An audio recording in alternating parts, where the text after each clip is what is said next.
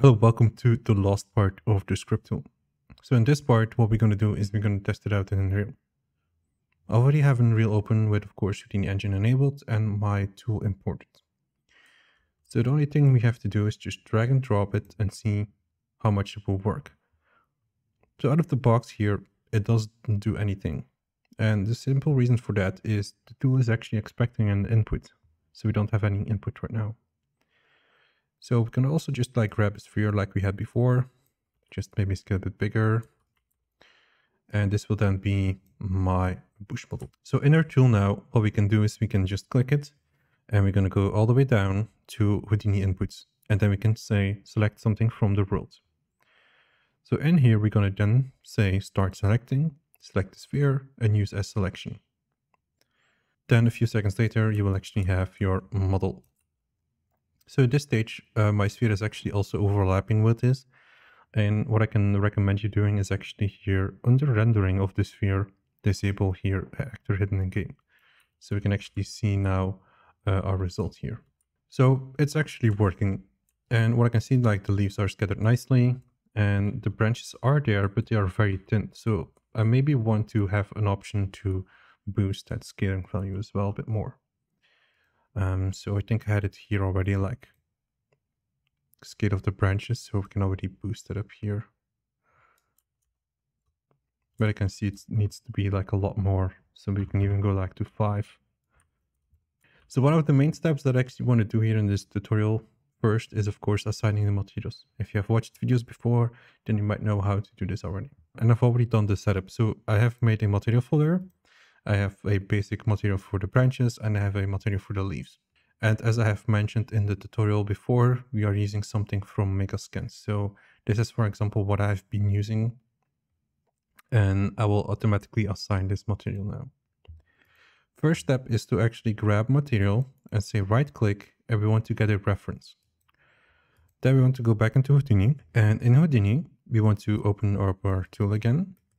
And all the way here at the bottom, we want to define a Unreal material. So here we can say I want to have an Unreal material over here. And in this node, it will make a Unreal attribute, Unreal material attribute. And we want to override the value where this is saying to copy the path of the shader. And this is basically what I just copied. So we'll actually just say where is the shader located. So we have that now in place. So if I now select my tool, hit save and go back, we can click on our tool and hit rebuild. And now we have our leaves here. So you can see that we're now using those textures here. So that all works pretty well. We can also do the same then for the branch. So again, right click, copy reference. In Houdini, we can again use a Unreal material node. So plug it in over here. We remove the path, copy our own path, and save out the tool. Then in this here, we can just click rebuild. And we should be able to see that our branches are now having this brownish color. So that all works pretty well. Another thing we can do is play around with vertex color. You might have noticed while I built this setup that I had actually this vertex color or this color or gradient going from like this uh, dark value to the red value.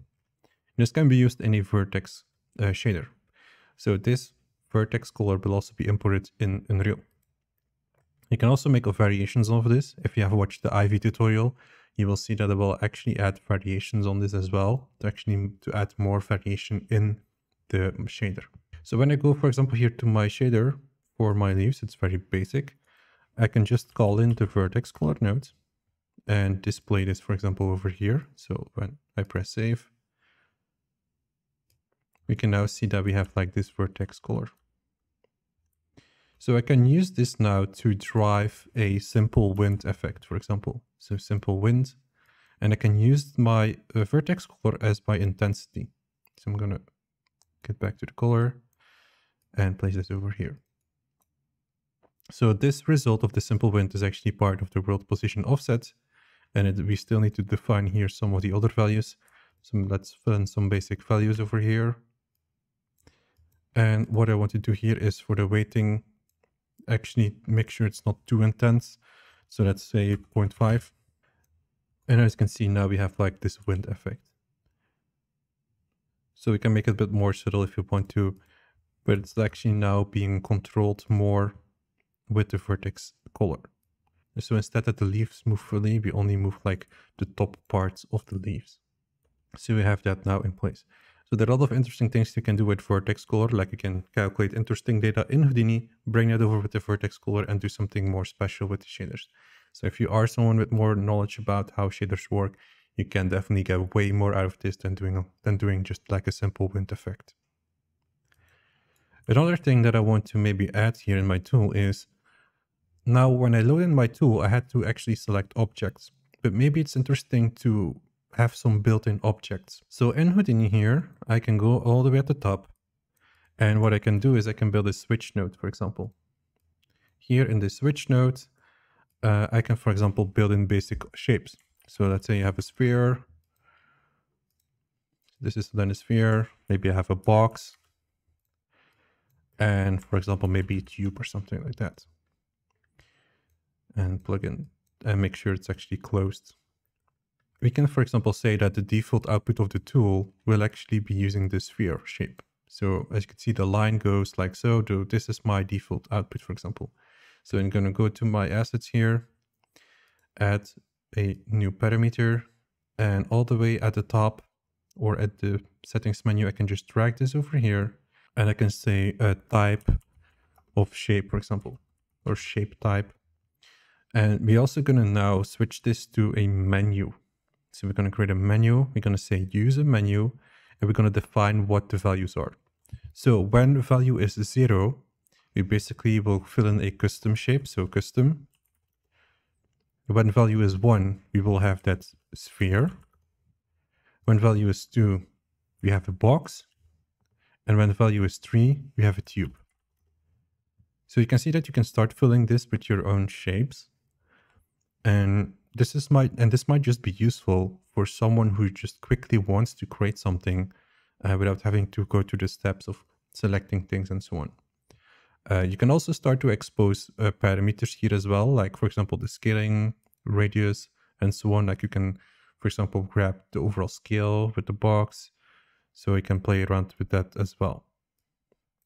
So I'm going to go and just press accept and go back to Unreal. So in Unreal now, I'm just going to hit recook my tool. And as you can see, now it just outputs uh, this result here. So it's just scattering around that sphere. So we can go here to our uh, base settings and now we have that menu as well. So I can just say I want to have a box or I want to have like the tube. So we can play around with that as well. So that might be easier uh, when I just, uh, for example, here, if I grab a new version of the tool, it will actually now output something by default. So it will actually output this part as default. And I can just go into the settings. I can, for example, hey, I can, for example, say like, yeah, maybe we need to scale down uh, the leaves more, like so. And we can maybe say we want more of them. We can maybe we can say we want more of them. Then we have something like this. So right now, basically our tool is done and there are of course things you can fine tune. If you don't like certain things how they are, you can start fine tuning values and so on. This is how the tool would work here for this project. So I hope you enjoyed these videos and thank you for watching.